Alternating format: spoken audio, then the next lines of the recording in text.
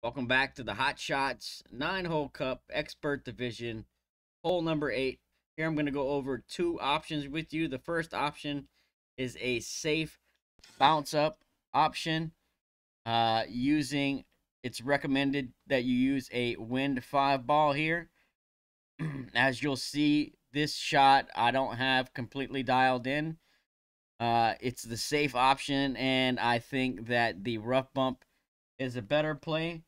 But for those of you that are scared of a skinny rough bump uh, or don't have a side spin four wind four balls, this is an option for you to play. It can be played with a wind four ball. You'll just have to tweak the curl as needed to get the ball in the hole. So you'll have to practice it a couple times and work out uh, work out some wind angle, wind strength tweaks for this type of shot. But I'm going to go over it just so you know what the base starting position is, and uh, you can take it from there. So we're starting at P5 men club. P5 men. So I, I set up with a Zerk here. I got the red ring. It's not showing a Zerk, but I have a Zerk. And I placed the red ring touching the bunker on the left at P5 men. The spin set is 3.3 backspin, one left spin. The adjustment is P3 plus 25% mid numbers. This and you want to pull with a 1201. Light 1201. Not a heavy 1201, but you definitely want to favor 1201. You don't want to pull any 59 on this. like I said, this shot is designed for a wind 5 ball. So as you see, I had a 7 mile an hour wind here. I played this with a wind 4 ball. I'm going to miss it to the left because I had more wind and the shot is designed for wind 5. So if you want to play it with a wind 4, you'll have to tweak curls, spins as needed to get the wind 4 to drop or play it with a wind 5 will give you your best option at a drop, especially being a crosswind bounce up shot.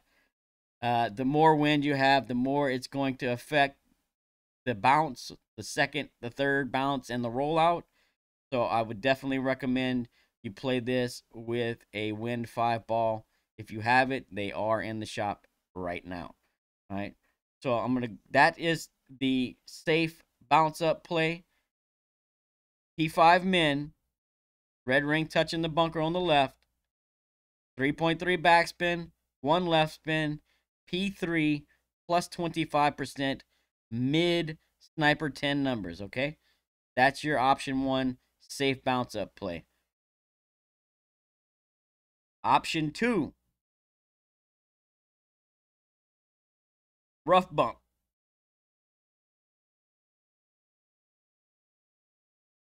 So here, what we're going to be playing is P3 plus 20% max sniper 10 numbers the spin set is 3.3 right spin, 3 back spin. All right.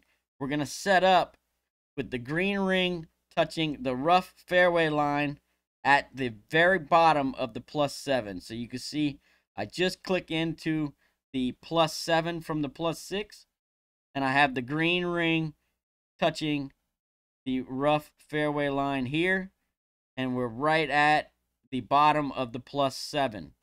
All right, so that's that's your starting position. 3.3 right spin, 2.9 backspin. All right. 2.9 back, 3.3 right, green ring touching at the bottom of the plus 7.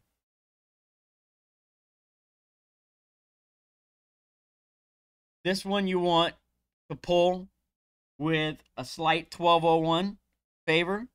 So you definitely want to have some 01 on this pull. And one click of right curl. There's a couple of wind angles. I'll replay it. I say a couple. There's there's one wind angle that requires a tweak beyond that.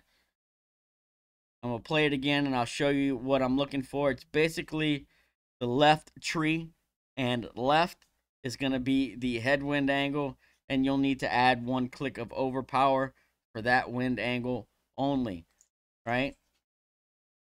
The important things to note is the green ring touching at the bottom of the 7, the 2.9 back, the 3.3 right. Make sure you're pulling with an 01. Now, you don't want a crazy heavy 01, but you definitely want to be showing a 1201 on this pull. And as far as wind angles go, this is the tree I'm looking at, this pink tree here. If you are in the pink tree or to the left, that's the headwind angle, and that needs one click of overpower. Beyond that, all wind angles are one click of right curl. So anything to the right is still one click of right curl. It's still an 01 pull. You just don't need overpower over here. You need one click of overpower over here. Right? So it's a pretty simple setup. Really good opportunity at a drop. Does require 3.3 side spin and 2.9 backspin, right? Make sure you're pulling with a 01. Hit perfect. Don't forget you tweak if it's needed. And hopefully you walk away with a hole in one here. Wish you the best of luck. Hope you get the drop. And we'll see you on the next hole.